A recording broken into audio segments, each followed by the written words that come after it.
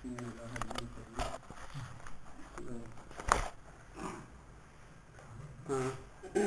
दोस्तों आज हम कुछ क्योंकि हमारा जो टॉपिक क्या है, हम लोगों के आपस की एक गुफ्तु है जो हम करना चाह रहे हैं। स्पेसिफिक मेरी नहीं है, आपकी नहीं है। हम चाह रहे हैं कुछ ऐसी गुफ्तु भी हो, जो हिंदुस्तान के हवाले से हम बात करना चाहते हैं। कि जैसे नबी कसम का जो दौर था, वो ये जो दौर था, वो तारीख का दौर था। तो अपनी अपनी तारीख में बड़ा घमंड था उनको। ईसा की तारीख, मूसा की तारीख, उस हवाले से जब नबी कसम आए तो नबी कसम ने जब उनकी तारीखों को देखा तो आपने उनकी तारीखों की हैसियत से गुफ्तु करी। और पूरे कुरान में आप देखेंगे जितना भी है तो तमाम तारीखों का ज़िक्र तमाम अम्बिया का ज़िक्र मौजूद है। तो क्योंकि एक जहाज़ का दौर था, एक नबी कसम को एक बुनियादें रख रहे थे।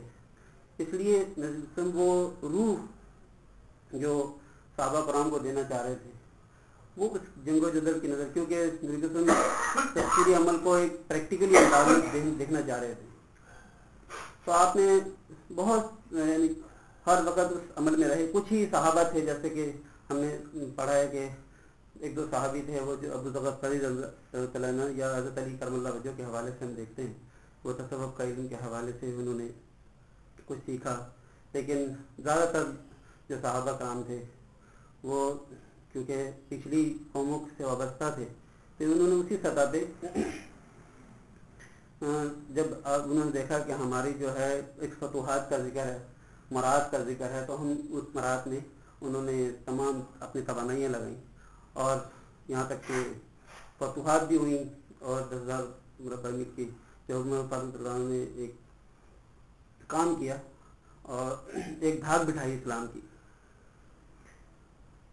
लेकिन इस्लाम जो इस्लाम की, जो कुरान की रूह थी, जो अंदर नबी कसम जो बताना चाह रहे थे, जो पसे पर्दा नबी कसम, असल में वो तो एक प्रैक्टिकली अमल था। लेकिन जब हम इस दौर में आए तो नबी कसम को आप कैसे देखें प्रैक्टिकल अंदाज में? नबी कसम किस तरह साहबा कराम जो है मूवमेंट कर रहे हैं हरकत कर रहे हैं। तो जैसे कि हसरत किबला ने कहा कि जब कुरान पढ़ो तो साहबा कराम करते फिरते नज़र आते हैं और नबी कसम का वजूद नज़र आता है। तो और जब हम इस दौर में आए हैं, रसूल मिनम यतलयातीन यानी आखिरी मिनम का अमल जब हम पेश करना चाह रहे हैं तो उसमें यह है कि तसवुफ का इल्म जो हिंदू हिंदू धर्म में है, हिंदुओं के पास, क्योंकि उनके पास तारीखी हैसियत से बहुत बातें थी। यहाँ जो हिंदुस्तान का, जहाँ पे नबी कसम फरमाया, मुझे हिंद से ठंडी हवा आती है। एक बाद में भी उसको कहा, मेरे रब को आई ठंडी हवा जहाँ से, मेरा वतन वही है, मेरा वतन वही है। तो हम उस सतह पे, जब नबी कसम के इस आगे, क्योंकि हमने जो कुरान जब अजान सुनते हैं हम, अजान के बाद एक दुआ करते हैं कि अलमरबहाद दावत तामा वसलामा आते मोहम्मद वसीलत वसीलत वद दरजत वबस मुकाम महमूदा। लजी बात दो दरअसल, वो साहबा ने कहा नहीं, बल्कि तलवार उठाई और वो करके दिखाया और मुकाम महमूद का, जिसका अल्लाह ने से वादा किया था कि मुकदस पता होंगे, कैसे खतरा के ताज आएँगे तो साहबा ने अपने अमल से उसको पेश किया। अब ये जो दौर आया है ये दरअसल रूहानी तलवार का दौर है। अगर हम, क्योंकि हम देखते हैं कि हमें कुछ और कोई नज़र नहीं आता मामला, अगर मादी सतह पे हम कितना भी बंद मार ले, कुछ नहीं कर पा सकते। और जब तक के क्योंकि हम, अगर रूहानी तलवार हमारे पास हुई तो हम, क्योंकि मादा जो होता है, वो रूह का तारुफ कराने के लिए आता है।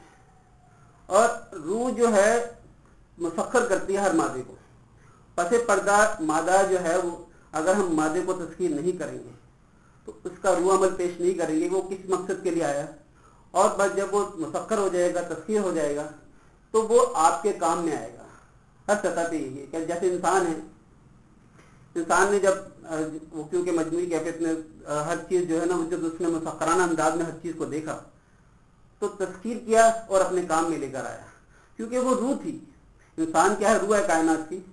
बाकी चीज़ मादा है, माया है उसकी इसी तरह जब इस्लाम आया तो वो रूह लेकर आया। और ये जो हम चार वेद पढ़ते हैं, चार वेदों का इल्म जो है, दरअसल वो रूहानी इल्म है, जो नहायत खुराफात पर है।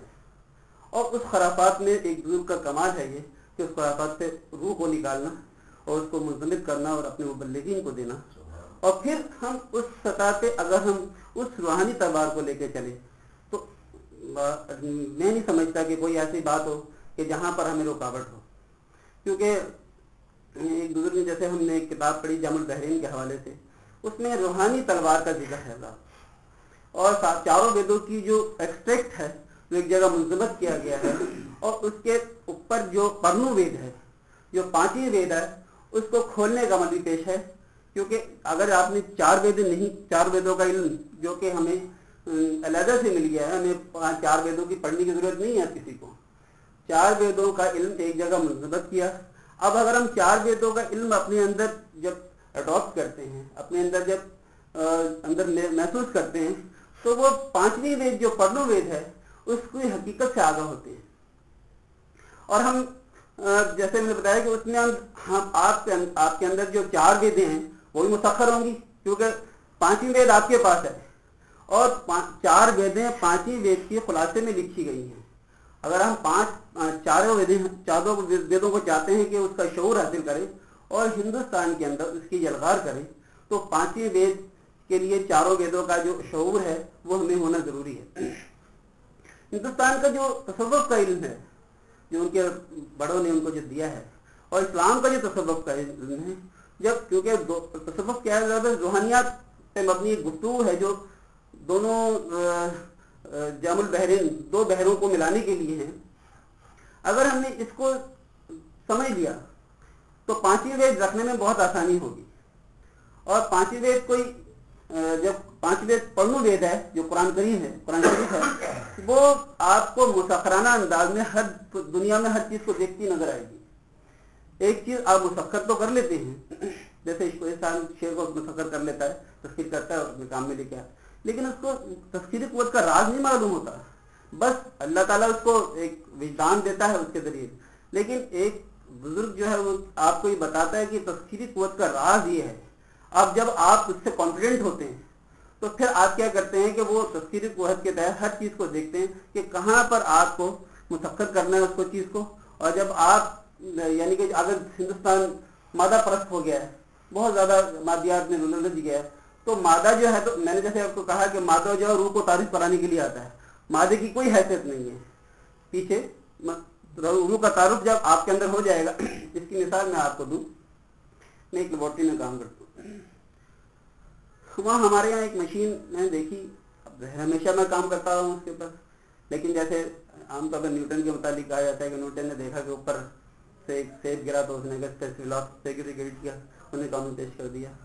भाई ये बात तो आम दुनिया में कही जा रही थी। न्यूटन ने को खास बात तो ही कही थी। ज़मीन को अर्थ पकड़ लेने वाली चीज़ तो हमेशा ही कहा था कहा जा एक आ, आ, मैंने जैसे हिंदी धर्म में ज़मीन को धरती बोलते हैं। धरती का मतलब ही है पकड़ लेने वाली चीज़। कोई नई बात तो नहीं कही थी उसने। ये तो कह ही रहे थे हम। उसने एक कानूनी शक्ल को एक दे दिया लोगों ने कहा वाह ये क्या बात हुई? लेकिन वही बात है कि वो मादा के ही एक अलमबरदारी थी कोई बात नहीं थी घड़ी लेकिन क्योंकि वही बात है कि जैसे वो किसी को इल्म ना हो तो इंसान सोचता है, यार, बड़ी इल्म की बात है।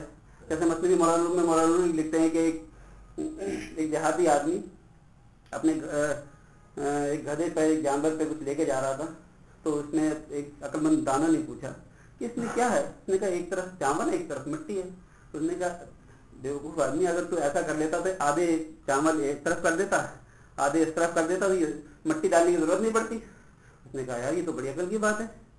तुम कौन हो भाई? क्या आपके पास कोई मालो दौलत होगी? आपके पास कोई ठीक ठाक खजाने होंगे? उसने कहा, नहीं भाई, ऐसा, ऐसी कोई बात नहीं बात तो एक गरीब आदमी, जब उसने तमाम बातों में निगलेक्ट करी तो उसने कहा, भाग में तुमसे अच्छा तो मैं हूँ, मेरे पास पैसे तो हैं।